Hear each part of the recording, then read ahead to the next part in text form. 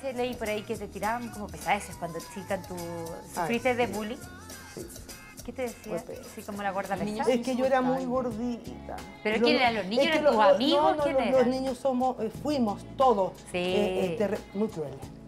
No nos damos cuenta, pero somos crueles, sobre todo los hombres, son muy crueles. Entonces me decían ballena, Moby Dick, Baricinsuncho, guatona. Eh, ¿Lloraba y?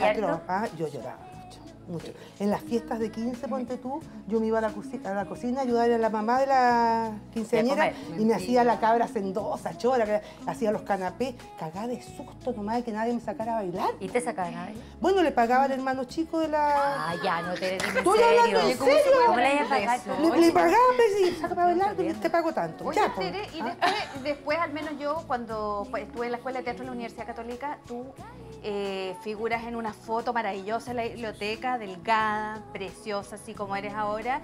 Eh, cu- ¿Cuándo vino esa parte de, adelgazar? Porque si eras a los 15 gordita, Cuando, después mira, te fijaste. eh, yo hice una, yo me acuerdo que estaba en primer año de la escuela, de la católica, y una de mis profesoras fue la Bélgica Castro. Entonces a mí me fue muy bien ese año. La Bélgica me llamó y me dijo, mira Teresita, yo quiero que la gente se ría contigo, no de ti. Así que yo te quiero flaca cuando, cuando empecemos los primeros días de abrir las clases. Esto fue en diciembre. Llegué. Regia. No te explico. La mini hasta acá.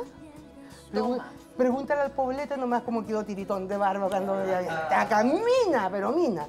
Bueno, y ahí quedó un buen tiempo, pero en ese tiempo te dan anfetamina, que era una cosa pero horrorosa, te, te envenenaba. Pero no quedaste con ningún resentimiento, ni con la gente que trató mal, ni con el sistema. No, porque decidí, a- decidí definitivamente a que si iba a ser gorda, eh, me iba a ganar a toda la gente por simpatía.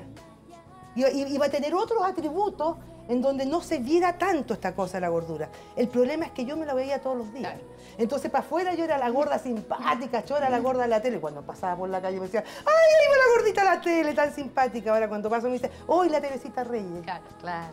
Es distinto. Es distinto, Hay mucha gente que, que se indignó conmigo, ¿ah? Se indignó, mandaban cartas al, Que te- al te- diario, decía que cómo es posible, eh, yo siempre la quise gorda y ahora nos traicionó, pero si no era una cosa de...